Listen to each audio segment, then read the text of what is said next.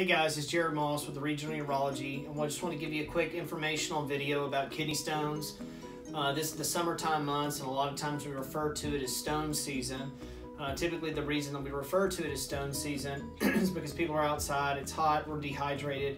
When you're dehydrated, you're going to be at risk for forming kidney stones. Thus, here in the South or in the Stone Belt, we call it stone season. Anyone who's had a kidney stone uh, before, uh, you want to do everything you can basically to prevent having to go through the pain of uh, passing a kidney stone or having to have surgery for a kidney stone, uh, much less needing stents and things like that, which are all very uncomfortable and uh, certainly a strong incentive for patients to uh, try to do the, the necessary preventative things to try to prevent further kidney stones in the future. Common questions that patients will ask is say, what do I need to do? What do I need to drink? What do I need to eat to try to prevent these uh, stones from reforming?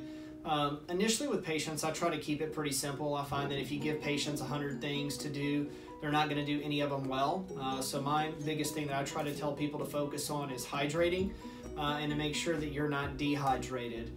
Um, the easiest way to do that is when you urinate. If the urine is uh, a clearish color, that means that you're hydrated. You're not going to be forming kidney stones, or you're certainly going to be much less likely.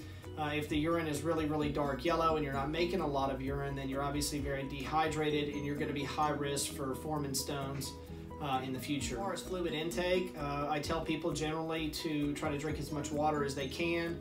Uh, fresh squeezed lemonade is also uh, a great uh, inhibitor for stone formation because it contains a compound called citrate uh, which is very important in preventing kidney stone formation. I tend to tell people to avoid dark colas um, such as Coke, uh, Dr. Pepper, uh, tea and coffee all contain oxalate, and uh, that is one of the most common things found in kidney stone formation. It doesn't mean that you can't have these at all, but moderation is certainly going to be very important. one thing that I consider kind of a game changer as far as kidney stone prevention is perform, uh, concerned, um, there's a new um, um, I, I, guess I would call it a medicine, but it's called litholyte. Um, this was actually created by Ryan Holland, who is a urologist that did his training here in Shreveport, Louisiana. Um, litholyte is basically, it comes in um, almost like Propel packets, but it has um, the citrate that is in the packet. And you can basically open the packet, empty it into a bottle of water or the fluids that you're drinking, and it contains a lot of citrate. Um, and it's very, very helpful as far as trying to prevent uh, stone formation.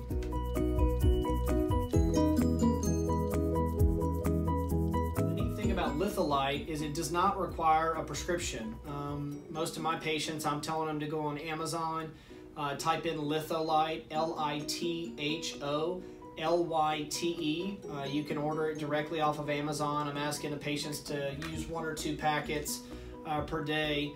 Um, it's much uh, less expensive when it comes to the prescription form of this, which is known as potassium citrate or Urocit K.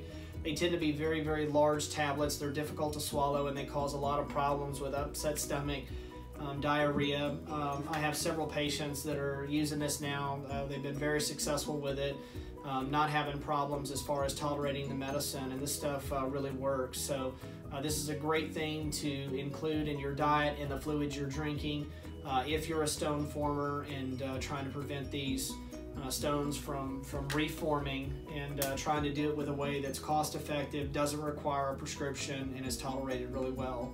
Uh, I hope this has been helpful regarding the prevention of kidney stones. If you have any questions, please let us know. Thanks so much.